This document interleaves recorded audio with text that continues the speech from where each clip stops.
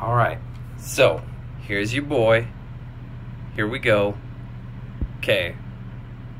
Fucking. Let's zoom in a little bit. This is Schroeder. He's dishing it to Adams. He thinks he's to get an alley oop right here. Look at this shit. He goes up. My man Gobert says, fuck you. No. You're not getting that shit. Okay, we come down with the rebound. There I am, right behind him. I had the same idea, but he was quicker on it.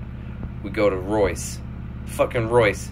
Down the stretch. Here we come. I'm wide fucking open.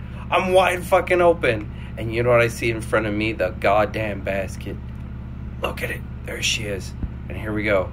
I call for it. Give me that alley oop.